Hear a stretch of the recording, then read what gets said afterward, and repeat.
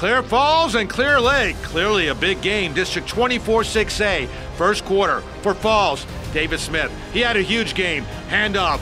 Some nice moves. And he sprints his way to the 20. He would later score and give Falls a 7 0 lead. In the second, David Smith, touchdown, 14 0. Clear Lake rallies though. Devin Lippold back to throw to Hunter Modem, and Modem with the juggling grab and hangs on. Wow, 14 to 7.